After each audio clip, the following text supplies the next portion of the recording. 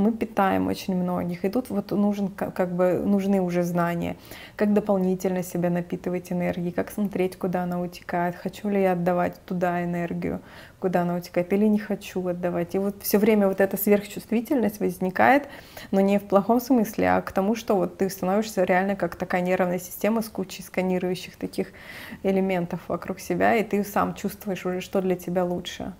Потому что, ну, может быть, например, у тебя кто-нибудь сидит на твоих каких-то там денежных правах, а и ты это не видишь пока.